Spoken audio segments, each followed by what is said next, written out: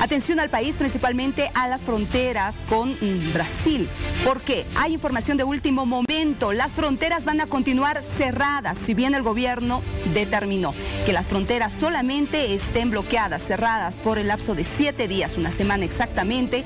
En las últimas horas se ha determinado a través de una minuta del Senado que ha sido aprobada y ha sido además dada a conocer que las fronteras en la frontera con el Brasil van a permanecer cerradas. Así lo ha anunciado el ministro de Salud Jason Ausa y aseguró que todas las medidas restrictivas en los límites fronterizos permanecerán inalterables para evitar los casos de COVID-19. Reiteramos entonces, la frontera con el Brasil va a estar cerrada y se mantienen todas las restricciones. Esto ha generado molestia justamente en los comerciantes, quienes requieren ya eh, eh, reunir dinero, continuar con su actividad.